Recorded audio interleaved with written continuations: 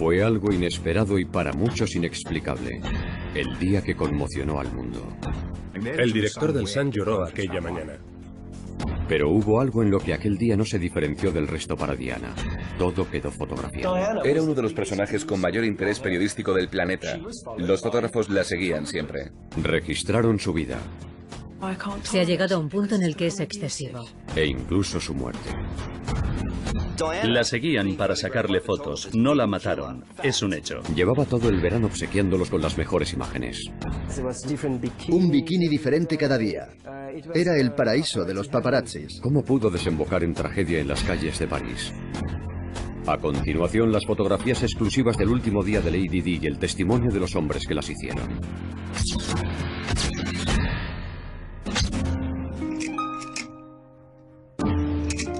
Si hay un personaje actual del que tenemos imágenes para poder repasar su vida entera, es sin duda de Diana, la princesa de Gales. Ha sido la mujer más fotografiada de la historia. Cada una de las fotografías contaba una historia.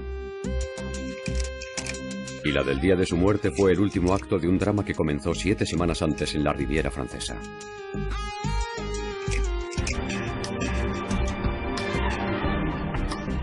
Diana, Guillermo y Enrique habían aceptado la invitación del dueño de los almacenes Harrods, Mohamed Al-Fayed. Lo que en principio iban a ser unas vacaciones familiares y privadas, se convirtió en un circo. La princesa Diana decidió irse allí de vacaciones en el mes de julio del año 97 porque francamente no sabía a dónde ir con sus dos hijos. Mohamed Al-Fayed le insistía diciéndole, ¿Por qué no venís conmigo? Os atenderé encantado. Tengo guardaespaldas, un sitio estupendo con playa privada. Venid. Y ella pudo disfrutar de unas pocas horas de intimidad hasta que la prensa, entre la que me incluyo, la acorraló. Desgraciadamente, el sábado después de que llegaran, recibí una llamada del News of the World en la que me dijeron, tenemos una foto de un yate en la que aparece Mohamed Al-Fayed y está con alguien que parece la princesa de Gales. Les dije que eran el señor Al-Fayed y la princesa de Gales.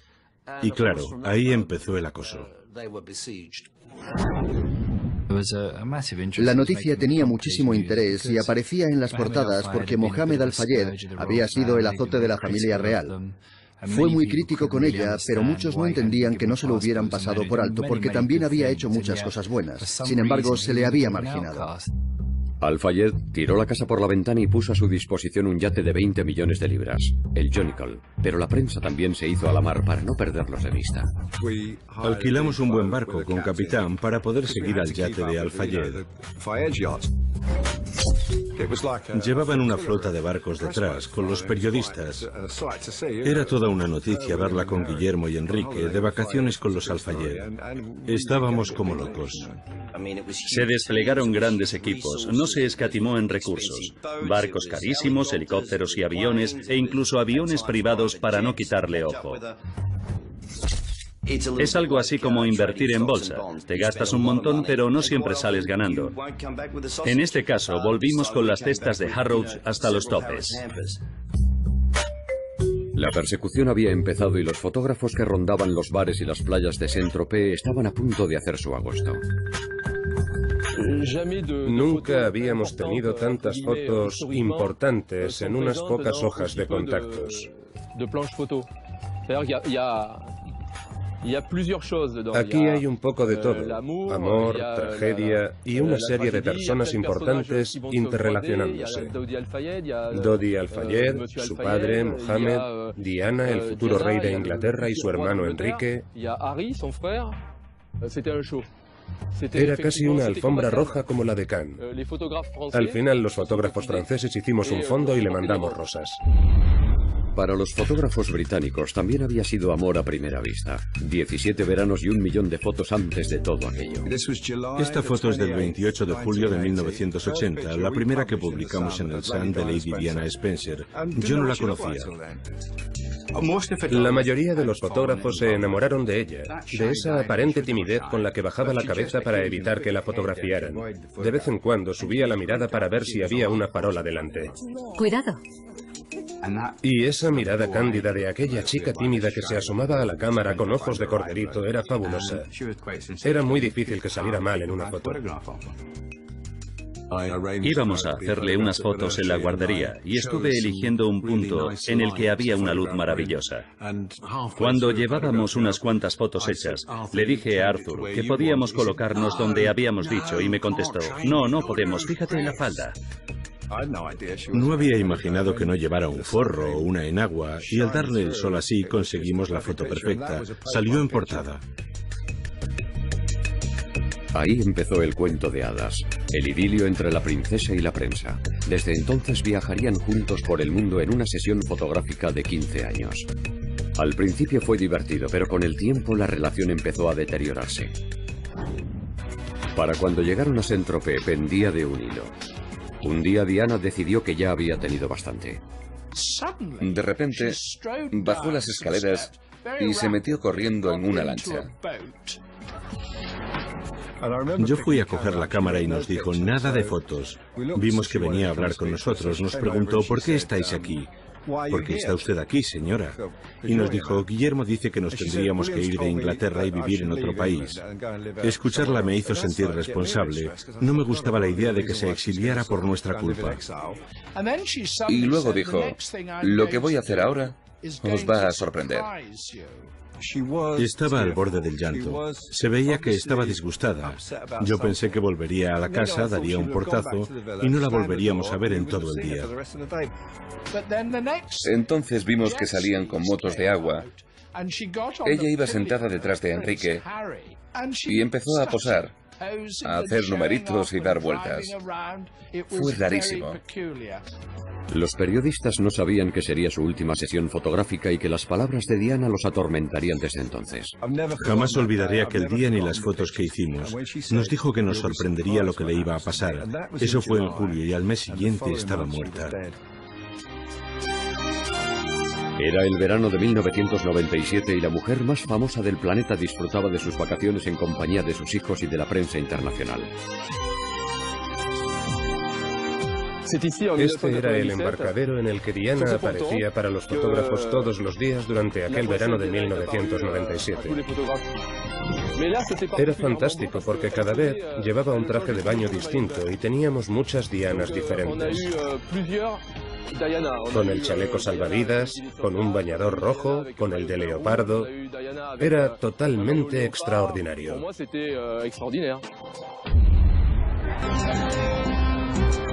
Durante años, la naturalidad de Diana frente a las cámaras había sorprendido a todo el mundo, incluido su propio entorno. Cuando conocí a la princesa Diana, ya era uno de los personajes más destacados. Tenía un magnífico instinto para publicitarse, que estoy seguro que muchos políticos envidiarían. Sabía dónde había una buena foto. Las cámaras la adoraban y ella de vez en cuando también adoraba las cámaras. Diana tenía mucha naturalidad al tratar con la gente, lejos de los saludos rígidos del resto de la familia real, del apretón de manos y del lleva mucho tiempo esperando que el príncipe de Gales preguntaba de cuándo en cuándo. Diana tomó otro camino. Optó por el contacto personal que tanto gustaba a la gente. Y si le gustaba a la gente, a la prensa también. A lo largo de mi carrera como corresponsal de la BBC, he revisado kilómetros y kilómetros de cinta y jamás he visto una toma mala. Ella sabía perfectamente dónde estaban las cámaras y los fotógrafos. Lo tenía mejor controlado que la reina madre, que estaba considerada como una experta. Decía que tenía calculada la distancia a la que pararse a saludar o para sonreír. Diana lo perfeccionó aún más. Sabía dónde colocarse aunque no tuviera a nadie enfrente y sonreír como si fuera a saludar a alguien. Pero para los fotógrafos que seguían todos sus movimientos había una imagen que valía lo que todas las demás juntas. Desde que se divorció, bueno, desde que se separó del príncipe Carlos, la pregunta era, ¿tiene novio? ¿Quién es? ¿Dónde está? ¿De dónde saldrá el siguiente novio? Siempre estábamos tras la pista. Will Carlin, Oliver Hoare, Hasnet Khan.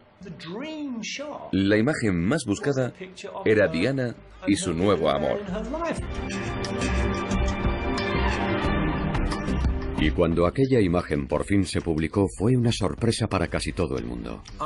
Yo sabía que algo había. Habían coincidido en partidos de polo, en muchos actos, en estrenos de cine. Pero su relación empezó a ser más cercana a partir de aquellas vacaciones familiares. Con todo el alboroto en torno a su padre, la presencia de Dodi Al-Fayed había pasado casi desapercibida para la prensa pero allí había empezado una historia de amor. La pareja disfrutó de las tiendas y los restaurantes de Saint-Tropez y ella incluso posó para un artista de la localidad. Vinieron a medianoche y empecé con el retrato. Le pedí que se colocara aquí y Dodi Al-Fayed se quedó a esperarla porque habían estado cenando y luego iban a salir a tomar algo. Quise mostrar su sensibilidad, la magia que esta mujer desprendía. En el retrato intenté reflejar su espíritu euh, y la pinté con muchos colores y con el mar de fondo que tanto le gustaba. Mientras dibujaba puse la música de Memorias de África porque sabía que le encantaba. Es el último retrato de Diana. Lo pinté seis semanas antes de que nos dejara para descansar eternamente. La pareja volvió al Mediterráneo esta vez solos, sin saber que el secreto de su idilio iba a durar muy poco. Un amigo de Mohamed y de Diana, que vivía en el sur de Francia, me llamó al Mirror y me dijo, James, la relación entre Diana y Dodi va muy en serio. Están perdidamente enamorados. Le dije, es un poco precipitado y me contestó, sí, pero ha pasado. Dodi Al-Fayed debería avergonzarse de cómo ha tratado a Kelly. Kelly lo quería y confiaba en él. La noticia fue una bomba no solo para Kelly Fisher, la hasta entonces novia de Dodi. Dodi era productor cinematográfico y un playboy de fama internacional que se encontró de pronto en el centro de la tormenta mediática. ¿Cómo iba a capear el temporal? Lo único que hice fue aconsejarle que utilizara el sentido común. Ya conoces a la prensa británica, es la más salvaje del mundo. Me limité a dar consejos y asesoramiento. Eran las típicas llamadas de, hola Max, estábamos pensando en, ¿qué te parecería si se habían enamorado? Y con el tiempo fue a más. Una vez que se supo que habían iniciado una relación, el valor de una fotografía de Diana y Dodi juntos se disparó hasta niveles estratosféricos. Y si además ella estaba en bikini y para colmo conseguías un beso, esa imagen iba a valer su peso en oro. A principios de agosto, un fotógrafo italiano, Mario Brenna, captó la preciada instantánea. Había recibido un chivatazo que le permitió fotografiar a la pareja dándose una chuchón. La imagen se vendió por 3 millones de libras y armó un enorme revuelo. Aquello significaba que Diana estaba mandando un mensaje. Tengo una relación, este es mi novio. Era un corte de mangas a alguien de nuestro país, concretamente a su anterior familia. Esto es lo que toca ahora. Tendréis que haceros a la idea de que vuelvo a ser el centro de atención. Ya fuese un noviazgo largo o un simple amor de verano, cuando Diana y Dodi volvieron a navegar por el Mediterráneo por última vez, los mejores paparazzis del mundo los siguieron a la caza de los besos más perseguidos de la historia de la prensa rosa. Me llevé el objetivo más grande que tenía y todo el dinero que pude para ir detrás de ella y seguirla a cada paso.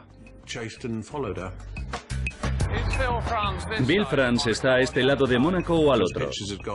Porque esas fotos estaban cotizadísimas. Había mucho dinero en juego. Diana estaba protegida por los guardaespaldas de Al-Fayed, pero no tenían nada que hacer. Obviamente podíamos dejarlos atrás con facilidad, pero ellos sabían a dónde íbamos, llevaban los mismos mapas que nosotros y tenían amigos en el siguiente puerto.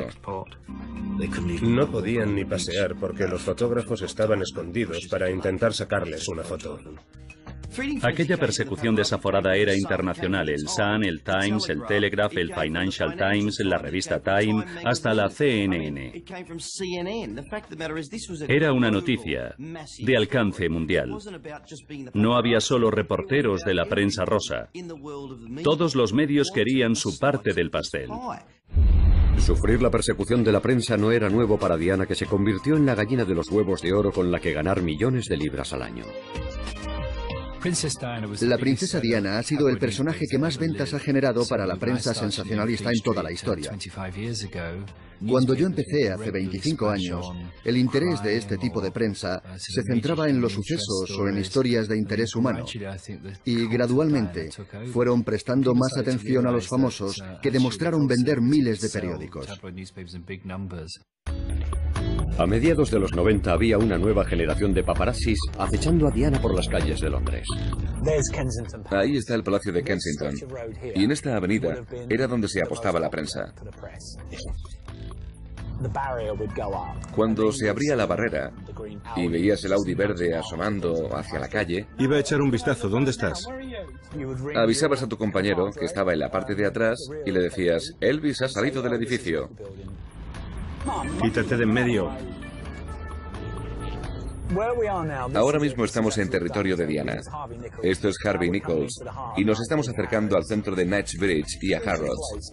Esto es Goshen Place. Este es el epicentro del mundo de Diana.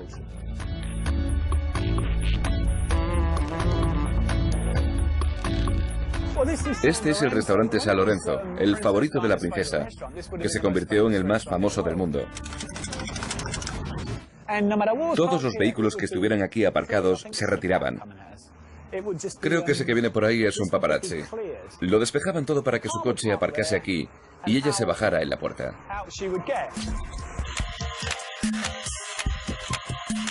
Se había abierto la veda. La gente de la calle le hacía fotos y llamaba a las redacciones. Imagínate cómo habría sido ahora con los teléfonos con cámara. Este es el Club Harbor, lleno de cochazos. La plaza de aparcamiento de Diana era esa, o la de enfrente. Si era uno de esos días que quería que se le hicieran fotos, salía sin prisa. Si no quería fotos, empezaba el juego. No les digo el juego a la prensa. Al principio establecí una relación con los periodistas que funcionaba, pero ahora han sobrepasado los límites y ha llegado a un punto en el que es excesivo. Es un acoso. En la semana anterior a que concediera la entrevista al programa Panorama, la etapa del asedio de la prensa estaba en su máximo apogeo. Durante años he sido como un buen producto que se expone en las estanterías y vende mucho. Todo este muro estaba lleno de escaleras. Desde aquí hasta el final. ¿Qué habrá? ¿130 metros? No quedaba un centímetro libre en toda la pared. Estábamos en el centro del huracán y la situación estaba descontrolada. Estábamos inmersos en una historia que no iba a terminar nunca. En el verano de 1997 la persecución salió de las calles de Londres para extenderse por todo el mundo. Llegó a Italia, al funeral de Versace y a Grecia, donde estuvo de vacaciones con amigos. En las últimas semanas de su vida, Diana trajo de cabeza a los paparazzis. Era agotador seguirle el ritmo. La siguiente parada fue Bosnia, en una visita que realizó en su cruzada contra las minas antipersonas. Ahí sacó provecho de la persecución de la prensa. Vio a niños mutilados por las minas y se dio cuenta de que podía hacer algo. He venido yo y conmigo todos los medios, la BBC, la ITV, Sky News. Toda la prensa está cubriendo esta noticia, pero no por su propio interés, sino porque yo la he traído. Pero lo que el mundo estaba esperando era la fotografía de Diana y Dodi. Los precios se dispararon y finalmente fue un fotógrafo francés quien se llevó el gato al agua. Solté la moto, cogí la cámara y vine corriendo. Llegué justo a tiempo, porque vi que Diana y Dodi acababan de llegar al embarcadero.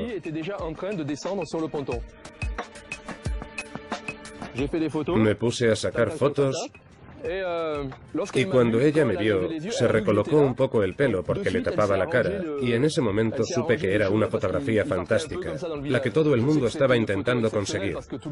La primera imagen de Diana y Dodi juntos después del beso. Llamé a una empresa de helicópteros de Niza y cuando llegó, el piloto me preguntó, ¿es para usted? Y le dije, no, es para esto. Y le di el carrete. Se lo metió en el bolsillo y me dijo, debe ser muy importante. Y le contesté, sí, un poco. Uno podía estar seguro de que casi cualquier foto de Diana con Dodi saldría publicada. La cosa era pillarlos. Estuve seis días allí compartiendo gastos con otros fotógrafos. Ellos se rindieron porque habíamos gastado mucho. Después nos enteramos de que estaba en la bahía de al lado. Pero para los que la habían encontrado, las imágenes eran cada vez mejores. Es como si algunos supieran dónde buscar. Yo no decía dónde iban a estar. Solo ayudaba a los periodistas en los que confiaba. Pero algunos empezaron a sospechar que la filtración procedía del propio Jonical. Hola, Ken. ¿Puedo pasarme a enseñarte unas fotos? Uno de esos días, Ken Lennox recibió una llamada del fotógrafo que había negociado la venta de las imágenes del beso, Jason Fraser. Entró y se puso a colocar unas 140 fotografías sobre la moqueta del despacho del director. Cuando las miramos, vimos que eran fotos de Dodi y Diana juntos. Estaban cariñosos, haciéndose caricias y ese tipo de cosas. Hay una foto monísima en la que se ve a Diana hablando por teléfono. El fotógrafo que la hizo y al que conozco personalmente me dijo, me estaba llamando a mí para preguntarme qué tal habían quedado las fotos. ¿Es posible que después de todas las quejas por el acoso estuviera ella organizándolo todo? ¿E incluso que llevara años haciéndolo? Pero aunque hubiera sido así, muchos habrían dicho, ¿y qué? Diana me llamaba a menudo. Nos dijo, si venís a Kensington High Street sobre las 4, podréis hacer unas fotos estupendas. Y así fue. Estuvieron en McDonald's y tomamos unas imágenes que dieron la vuelta al mundo. Semanas después, en una entrevista, dijo, pero bueno, si me siguieron hasta McDonald's. La relación de Diana con la prensa era más complicada de lo que podíamos imaginar. Comía con los directores de las revistas y tenía sus reporteros de cabecera. Y a medida que la guerra con la familia real se recrudecía, utilizó a los medios para llegar a su fuente de poder. La opinión pública. Cuando rompió el protocolo hablando directamente con la prensa, posiblemente estaba queriendo decir, puede que el resto de la familia real pague a sus gabinetes de comunicación para informar a la prensa. Mi marido es un ejemplo de ello, pero yo me ahorro el dinero y los informo directamente. Aquello me dio que pensar y me dije, puede que no apruebe lo que hace, pero al menos se encarga ella misma del trabajo sucio. Independientemente del motivo que hubiera detrás de aquellas fotos, poner celoso a un antiguo amante, incordiar a la familia real o mostrar su felicidad, la situación estaba a punto de cambiar. Su intención era pasar una noche en París, pero pronto todo se le iba a ir de las manos. De lo que no se dio cuenta es de que después de haber dado todas esas fotos geniales no es tan fácil decir, bueno chicos, se acabó. La princesa de Gales estaba empezando una nueva vida con otro hombre. Dime qué periodista de toda la historia diría, venga chicos, hemos llegado a París, dejemos las cámaras y volvamos a casa. Despedido. Esta historia no se iba a terminar cuando alguien dijera, corten. No funciona así. Aquello no había hecho más que empezar. Estaban en París, la ciudad del amor con su torre Eiffel y su arco del triunfo, y los paparazzis más decididos del mundo.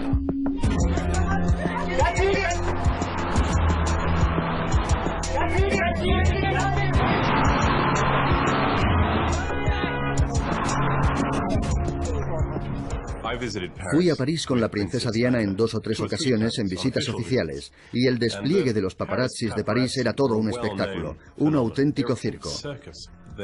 Seguían a los vehículos oficiales en motos y llevaban a otro cámara de paquete con una cámara de televisión.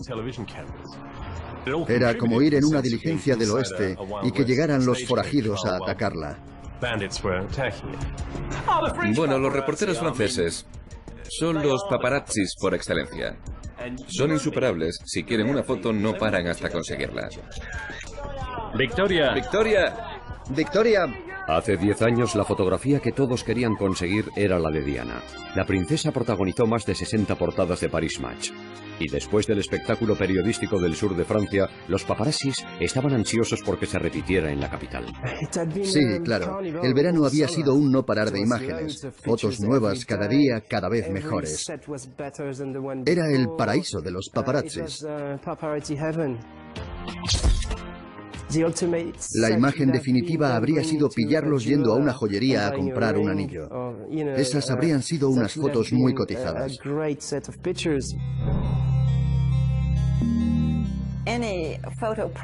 Cualquier agencia de prensa que se precie querría cubrir la llegada de la princesa Diana a París. Así que cuando recibimos la llamada de un diario británico avisándonos de que Diana iba a aterrizar en Le Bourget en un avión privado, acompañada por Dodi Al-Fayed, nos pusimos en marcha. Cuando el avión de Diana aterrizó había un montón de fotógrafos esperando a captar el momento. Ahí fue donde los personajes que protagonizarían la tragedia del túnel del alma se encontraron por primera vez. Vemos a Diana bajando del avión y a Dodi saludando a Angie Paul, el conductor del coche de acompañamiento aquella tarde, que sería quien iría al volante del Mercedes la fatídica noche del accidente. También están Trevor Rhys Jones y Kes Winfield, los guardaespaldas. Las fotos no tenían nada de particular, pero por desgracia ahora son un documento histórico de la llegada de Diana a París el día que murió. Dos escoltas motorizados acompañan a la caravana de coches hasta la autopista y se inicia una persecución vertiginosa hasta el centro de la ciudad. Se había corrido la voz de que la princesa iba a llegar.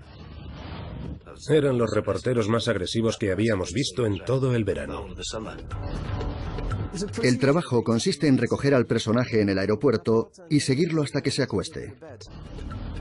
A Diana le preocupaba la situación. Llegó a decir, tenemos que tener mucho cuidado o uno de esos fotógrafos se puede matar. Conseguimos despistarlos. Aceleramos y los dejamos atrás. Tras librarse de sus perseguidores, su primera parada es el Bois de Boulogne para visitar la villa de los Windsor. En su día fue el hogar de otra pareja perseguida por la prensa, el príncipe Eduardo y Wallace Simpson. Mohamed Al-Fayed la había alquilado y estaba restaurándola. Corría el rumor de que podían establecerse aquí o usarla como una segunda residencia en Francia. Como no, nos entusiasmaba la perspectiva de que la princesa de Gales se fuese a mudar aquí con su nuevo amante. Así que, por supuesto, se corrió la voz rápidamente. A continuación, Diana y Dodi salen del Bois de Boulogne para trasladarse al centro de la ciudad, directos hacia los reporteros. No es tan difícil perderse en París, en serio. Se puede uno esconder bien. Era obvio que iban al Ritz, porque el padre de Dodi es el dueño del hotel. Pero si lo que quieres es pasar desapercibido, hay un hotelito en los Campos Elíseos en el que puedes pasar una noche maravillosa. Dodi y Diana entran al Ritz por la puerta trasera y evitan ser fotografiados. Diana se queda descansando mientras Dodi va a una joyería cercana. Más tarde, un empleado le llevará dos anillos al hotel para que los examine al detalle. Cuando salen del hotel hay un puñado de fotógrafos esperándolos y cuando llegan al apartamento de Dodi en los Campos Elíseos empiezan los primeros enfrentamientos. Según todas las versiones, el mayor altercado de aquel día se produjo en ese momento. Los guardaespaldas tuvieron que imponerse físicamente para que los fotógrafos no se les acercaran demasiado. Hubo enfrentamientos y discusiones violentas. Los fotógrafos no solo obstaculizaron sus movimientos, sino que se comportaron de forma agresiva y ofensiva. En el interior del apartamento Diana y Dodi se relajan. La princesa se está tomando una copa de vino blanco mientras escuchan música. Mientras tanto los guardaespaldas se van poniendo cada vez más nerviosos porque Dodi no les ha dicho dónde tienen pensado ir después. Llamé a la puerta. Entré a la salita y se lo pregunté directamente delante de la princesa. Primero intenté que el mayordomo le preguntara dónde íbamos a ir esa noche, que le pidiera más información, pero no sirvió de nada. Así que cuando salimos de allí, ni Kes ni yo sabíamos dónde los teníamos que llevar. Salieron muy rápido. Hice unas cuantas fotos sin tiempo para enfocar ni encuadrar ni hacer nada especial. Me limité a tirar ráfagas. Pero Diana y Dodi no ofrecen a los paparazzis la imagen que todos están buscando, la de los dos juntos. La persecución ha empezado. Los paparazzis se suben en las motos y los coches y los siguen. ¿Por qué? Porque ellos quieren hacer su trabajo. Quieren esa fotografía. No llevan armas, sino cámaras, y no disparan balas, sino instantáneas. En mi opinión aquello no tenía ningún sentido. No tenían por qué huir para que no les hicieran una foto juntos. Hay muchas cosas de aquella noche que no tienen sentido. Tienen una mesa reservada en un restaurante de moda, pero se ponen nerviosos y deciden cambiar de planes sobre la marcha. Vuelven al Rich, pero los empleados no están avisados y los fotógrafos se abalanzan sobre sus presas. Las imágenes más famosas que les hicieron aquella noche, cuando aún estaban vivos, son las de la llegada al Rich. Dos de nuestros fotógrafos consiguieron sacarlos juntos en el asiento trasero del Mercedes. Esta fotografía de sus últimas horas es una de las que más he vendido en toda mi carrera. Es curioso porque a Diana no se le ve la cara, pero a las revistas les encanta esta imagen porque se les ve nerviosos. Es muy distinta de todas las del cuento de hadas de Saint-Tropez, con los bikinis, las motos de agua y toda esa puesta en escena para que lo captaran las cámaras. Esta no tiene nada que ver y se nota, esta es la vida real. Diana sale primero del coche y Dodi unos segundos después. Siguen sin tener imágenes de ellos dos juntos. Sí, podían haber posado. Pero ¿cuál es el mantra de cualquier fotógrafo? Una más, por favor, solo una más. No se acaba nunca. A las 10 menos 10 de la noche del sábado 30 de agosto, las cámaras graban a Diana por última vez. Aquel día en París no se tomaron imágenes en movimiento de Diana, aparte de las del circuito cerrado de televisión del Ritz. Son las últimas imágenes de aquel icono con vida, en las que no se la ve especialmente contenta. Pero los iconos no siempre están felices, ¿verdad? Si hubiera visto esa expresión cuando me encargaba de su imagen, me habría dado cuenta de que había un problema, de que era necesario arreglar las cosas. Deduzco que ella se estaba dando cuenta de que las cosas no estaban saliendo como había previsto. En el vestíbulo del hotel, la princesa se echa a llorar. Se puso a llorar. Y creo que fue por eso por lo que Dodi vino como una exhalación hacia nosotros cuando entramos en el vestíbulo del Ritz y nos dijo, ¿cómo ha podido pasar esto? No perdí los nervios. Le dije que nada de eso habría pasado si nos hubieran dicho a dónde íbamos. Todos los fotógrafos de la ciudad se dirigen al Ritz. Entre ellos está Jacques Langevin, un reportero gráfico que ha recibido varios premios y ha cubierto algunas de las noticias más importantes de los últimos años. Delante del Ridge había un montón de periodistas, turistas, curiosos, coches yendo y viniendo. Había un montón de gente preguntándonos a los fotógrafos qué estaba pasando, qué estábamos haciendo y a quién estábamos esperando. Esperando a la princesa Diana. Entre los perseguidores también estaba Nicola Arsov, fotógrafo de la agencia Shipa que como Langevin pasará la noche entre rejas. Estaban los mismos fotógrafos que llevaban allí todo el día, pero había muchos más turistas. Creo que llegó un autobús de japoneses o de chinos, porque sabían que Lady Di estaba allí. Así que la plaza estaba llena de turistas aquella noche. Ni siquiera dentro del hotel tienen forma de escapar de las miradas de los curiosos. Una vez que estuvieron dentro del Ritz, Dodi decidió que iban a cenar en el Espadón, el restaurante del hotel. Se sentaron y vieron que la gente los miraba. En París es normal que te miren, sobre todo si eres famoso. Es parte de nuestra cultura. Así que decidieron subir a la habitación. Mientras la pareja se retira a la suite imperial, a la planta baja llega el último protagonista de la tragedia, el responsable de seguridad del Hotel Ritz, Henri Paul. Habla con los guardaespaldas y el personal del hotel antes de salir a la plaza a evaluar la situación. Vino a hablar con nosotros para tranquilizarnos y contarnos cómo y cuándo iban a salir. No os preocupéis, van a salir por la puerta principal. No hace falta que vayáis a la puerta trasera. En unos 20 minutos estarán preparados, tranquilos. nos dio tantas explicaciones que nos pareció sospechoso. Según el testimonio de los guardaespaldas, en todo momento la idea había sido salir por la puerta principal del Ridge, pero en el último momento a Dodi se le ocurrió que lo mejor era salir por la puerta de atrás, sin guardaespaldas y con Henri Paul al volante. En las imágenes de las cámaras de seguridad vemos que Dodi habla con los guardaespaldas. Desde que comenzaron sus vacaciones, esta es la situación más tensa en la que se vieron envueltos. El acuerdo fue que yo iría con ellos, no iba a dejar que se fueran solos. Mientras la pareja organiza su huida, el plan ya está condenado al fracaso. Los paparazzis se conocen todos los trucos. Seguro que habría varios en la parte de atrás vigilando. Había mucha gente alrededor del coche, unos cinco o seis fotógrafos. No estoy seguro porque no recuerdo bien lo que hice. No llegué a ver mis fotos porque me las confiscó la policía. Todavía las tienen. Tienen los negativos. Esas instantáneas son las típicas fotografías robadas por los paparazzis y, por desgracia, se han convertido en las últimas imágenes de aquel grupo de personas antes de que se mataran. A las 12 y 20, Diana y Dodi huyen del Ridge directamente hacia la posteridad.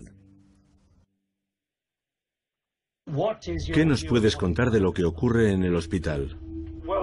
Parece que la situación es preocupante. En la redacción del Sun teníamos todos los canales de televisión puestos a la vez e íbamos observando que en vez de los presentadores del turno de noche, fueron apareciendo presentadores cada vez más importantes, con sus trajes y sus corbatas negras. Así que nos dijimos, está claro, ya verás. Steven, perdona que os interrumpa. Acabamos de recibir información de París sobre la princesa Diana de Gales. Hacía mucho que no pensaba en ello. No suelo pensar sobre aquello, pero fue muy impactante. De pronto estábamos hablando de ella en pasado. Era surrealista. ¿Cómo es posible que la princesa de Gales haya muerto en un accidente de tráfico? Nos quedamos paralizados, sin movernos. Fue un shock. Obviamente, lo primero que nos preguntamos fue si los paparazzis estarían allí y cómo de cerca estarían. En la oficina teníamos un mal presentimiento. Pronto iban a tener una imagen clara de lo que había ocurrido. Cada vez había más policías. Nos pusieron contra la pared del túnel y confiscaron todo el material y los equipos fotográficos. Había un policía por cada fotógrafo y nos tuvieron así esperando unos tres cuartos de hora. Creo que las imágenes de los paparazzis, agotados dentro del furgón de la policía, es una de las más impactantes y recordadas de aquella noche. Los cazadores cazados. Los fotógrafos que estaban fuera del túnel se dan cuenta de que el ambiente se está caldeando. Oías a la gente que pasaba decir, estaba claro, ya sabía yo que esto iba a pasar tarde o temprano. Estos paparazzis no es momento para recriminaciones, sino para llorar su pérdida. Pero siempre pensé que la prensa acabaría matándola. Me fui en coche a París y llegué a tiempo para fotografiar la escena del accidente y ya entonces se notaba la animadversión de la gente hacia los paparazzis. Los directores y propietarios de las publicaciones que hayan pagado por fotografías indiscretas. Intenté coger un taxi para ir al hospital, pero veían que llevaba cámaras y me decían, asesinos, sois unos asesinos. Tienen las manos manchadas de sangre. Charles Spencer acusó directamente a los fotógrafos. Me acuerdo de que los días que fui al Palacio de Kensington, en la semana antes de su funeral, la gente increpaba e insultaba duramente a cualquiera que llevara una cámara. Estaría viva. No es así. Lo siento mucho. La prensa estaba allí. La culpa es del Sun y de los periodistas. El Sun no estaba allí. Y llegó la última vuelta de tuerca. Buenas noches. Se ha confirmado que el conductor del coche de la princesa Diana conducía ebrio. Que se descubriera que Henri Paul conducía ebrio lo cambió todo para los fotógrafos, la policía y la prensa. Pero aún quedaban varias cuestiones por esclarecer. ¿Qué ocurrió exactamente en el túnel aquella noche? ¿Qué fotografías se hicieron? ¿Y qué se había hecho con ellas? Esas fotografías eran como el uranio, emitían radiación. Nadie quería acercarse a ellas. Es posible que ni siquiera los fotógrafos que las hicieron las quisieran recuperar. Por encima de todo, quiero dar las gracias por haber conocido a esa mujer que estoy orgulloso de poder decir que era mi hermana. Un ser único, complejo, extraordinario e irreemplazable. Diana, cuya enorme belleza interior y exterior no olvidaremos jamás. Yo estaba situado en la puerta oeste de la abadía y empecé a oír los aplausos, que sonaban como las hojas al caer. Creo que eso es algo en lo que nadie reparó. Y por primera vez que yo recuerde, todas las personas allí congregadas se unieron a la ovación. Ese será siempre mi último recuerdo de Diana. Al funeral de Diana no asistió ningún representante de la prensa porque no se les había invitado, pese a que las ediciones especiales volaban de los kioscos. Charles Spencer habló de su hermana como la persona más perseguida de la historia moderna, pero ¿la persiguieron hasta matarla? El plan para despistar a los paparazzis no había funcionado. Algunos habían seguido al Mercedes hasta el interior del túnel y una vez dentro habían hecho fotografías. Las imágenes del accidente son como las de cualquier otro accidente. El Mercedes destrozado, los restos esparcidos por la carretera, gente curioseando, transeúntes que se acercan e incluso hay fotografías muy tristes de Diana después del accidente que nunca se han visto. Creo que muy acertadamente. El que los fotógrafos siguieran trabajando después del accidente causó indignación incluso aunque como fue el caso de Langevin hubieran llegado después de los equipos de emergencia. En lo que a mí respecta, lo diré siempre. No hice más que mi trabajo, sin extralimitarme. Hice lo mismo que en otras situaciones dramáticas, como las guerras, por ejemplo. No me cuesta mirarme al espejo por las mañanas. Pero no todas las imágenes que se captaron aquella noche se confiscaron en la redada policial. Algunos fotógrafos consiguieron sacarlas de allí y a los pocos minutos del accidente estaban intentando venderlas. Recibí la llamada a las 12 y 3 minutos hora inglesa. Me puso los pelos de punta. Llamé a las redacciones para decirles que la princesa de Gales había tenido un accidente y nadie me creía. Me contestaban, ¿estás de broma? Reuters no ha dicho nada. En Reuters no lo sabían. Pero yo sí, porque me estaban enviando las imágenes. En las redacciones y en varias residencias particulares de Londres los teléfonos no paran de sonar. A eso de las 12 y 10 recibí una llamada de un fotógrafo que estaba en París. Me dijo que la princesa de Gales había sufrido un accidente de tráfico, que Dodi estaba gravemente herido, pero que ella hablaba y parecía que estaba bien. Me ofrecía la exclusiva de las fotos durante un día por 3 millones de francos, 350.000 euros. Lo pensé durante unos minutos y le dije que sí.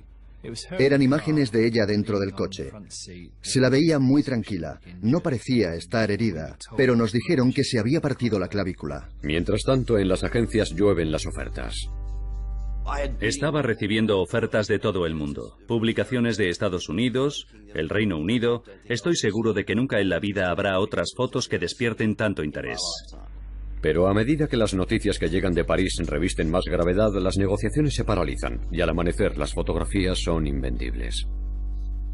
El director vino por la mañana y me dijo, ¿qué vas a hacer para proteger al periódico de estas fotografías? Eso es lo que pasaba. Ahora ya no se podían usar. Eran tóxicas. Los redactores se apresuraron a borrar los rastros de las imágenes de los discos duros y dejaron a los paparazzis abandonados a su suerte. Los valientes directores de todas las publicaciones del mundo, esos señores tan respetables, con sus trajes caros y sus choferes, que tan interesados estaban por conseguir aquellas fotografías, en cuanto se supo que la princesa había muerto, reaccionaron diciendo, no, no, no, ya no queremos comprarlas. Por favor, borra los emails, todas las conversaciones que tengas. No quiero tener nada que ver con todo esto. Yo estaba en casa durmiendo. Muchas gracias por todo. Después de años siendo el centro de atención de la prensa, Diana había acabado dando unas fotografías que no se podían publicar. Muy al contrario, el accidente marcó el inicio de una nueva era de comedimiento e introspección. Me sentía responsable de lo que había ocurrido. Era complicado porque es verdad que sabíamos todo lo que había pasado. Sabíamos que Diana colaboraba con la prensa y que el conductor iba borracho. Pero aún así, yo creo que si los paparazzis no los hubieran estado persiguiendo, el coche no habría ido tan deprisa y no se habrían estrellado. La muerte de Diana lo cambió todo. La prensa respetó a los príncipes y los dejó proseguir con sus estudios en paz y los fotógrafos se limitaron a acudir a los actos programados a los que se invitaba a los medios. Los paparazzis eran una especie de atestados y las revistas dejaron de publicar imágenes de personajes tomadas en público. Las revistas de cotilleos y glamour dejaron de perseguir tanto a los famosos por un tiempo. Ahora han vuelto con más fuerza que nunca, cada vez hay más, y no creo que desaparezcan nunca. A la gente le gusta observar las vidas de los demás. No cabe duda de que la vida que más interesaba al público era la de Diana, y para muchos fotógrafos la expectación que se creó en torno a su figura no se volverá a repetir. La última vez que fotografié a la princesa Diana, yo estaba de guardia en Bisham Place, esperando a que saliera de una tienda, la de Caroline Charles, y ella vino por detrás de mí, supongo que saldría por una puerta trasera, me tocó en el hombro y me dijo, ¿no estás ganando ya suficiente dinero conmigo? Y yo le contesté, no lo suficiente. Es posible que a veces sobrepasáramos los límites, pero era difícil contenerse. Diana ha sido el personaje que más interés despertaba en todo el mundo. Y ha dejado un vacío que jamás se llenará. Nadie ocupará nunca su lugar. Nunca volveremos a ver la magia que tenía Diana en nadie. No creo que nunca más veamos a los equipos editoriales yendo como locos a ver las imágenes que acaban de llegar. Creo que Diana es única y que nunca veremos nada igual.